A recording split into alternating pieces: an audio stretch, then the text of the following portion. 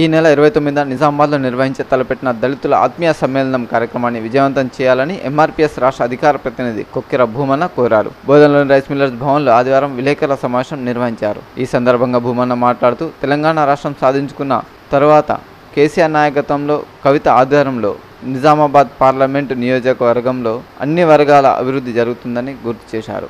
MP అనే పదవికి కవిత వన్నె తెచ్చారని ఉత్తమ పార్లమెంట్ సభ్యురాలుగా ప్రత్యేకతను చాటారని అన్నారు. బృందావన్ గార్డెన్స్లో ఈ నెల ఇరవై తొమ్మిదిన సాయంత్రం నాలుగున్నర గంటలకు దళితుల ఆత్మీయ సమ్మేళనం నిర్వహిస్తున్నామని తెలిపారు. ఈ విలేకరుల సమావేశంలో ఎంఆర్పీఎస్ నాయకులు తెడ్డు గంగారం డప్పుల చంద్రయ్య రాజయ్య బండారు పోషెట్టి తుడిమే నగేష్ పోచిరాం కార్యకర్తలు ఉన్నారు.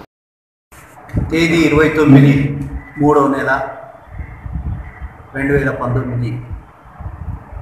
రోజున దళితుల ఆత్మీయ సమ్మేళనం నిర్వహిస్తున్నాం. ఇది నిజామాబాద్ పట్టణ సమీపంలోని బృందావన్ గార్డెన్లో నిర్వహిస్తున్నాం. దీనికి ముఖ్య అతిథిగా మన ఎంపీ కల్వకుంట్ల కవితక్క గారు ముఖ్య అతిథిగా విచ్చేస్తున్నారు.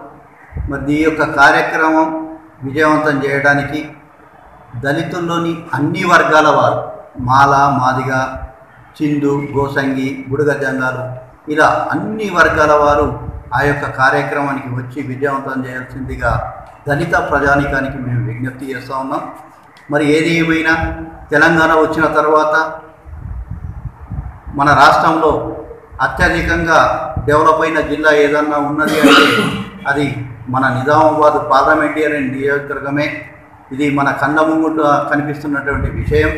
మరి ఇలాంటి సందర్భం లోపల ఎన్నో అభివృద్ధి కార్యక్రమాలు చేపడుతున్నటువంటి కవిత మేడం గారికి మరి దళిత సంఘాల తరఫున కూడా సానుకూలంగా స్పందించి వారికి సహకారాన్ని అందించి రాబోయే కాలంలో కవితక్క గారి ద్వారానే దళితులకు రావాల్సిన సంక్షేమ ఫలాల్లో సరియైన పద్ధతిలో మరి వారి సహసహకారాలతోటి అభివృద్ధి చెందే విధంగా మనం కూడా ముందు ఉండాలని చెప్పేసి దళితులకు మేము విజ్ఞప్తి చేస్తున్నాం.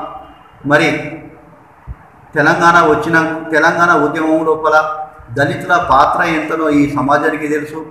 ఆ తర్వాత దళితులకు రావాల్సిన వాటా విషయం లోపల రావాల్సిన వా రా- వాటా సరైన టైంలో రాకుండా కొంచెం నిర్లక్ష్యంకి గురైన విషయం అందరికీ తెలిసిన విషయమే. కానీ ఇప్పుడు మీకు అండగా మేముంటాం.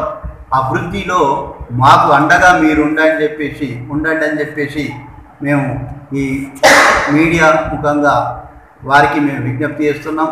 మరి ఇరవై తొమ్మిదిన జరిగే దళిత ఆత్మీయ సమ్మేళనను విజయవంతం చేయాలని చెప్పేసి అందరికీ మేము విజ్ఞప్తి చేస్తాం.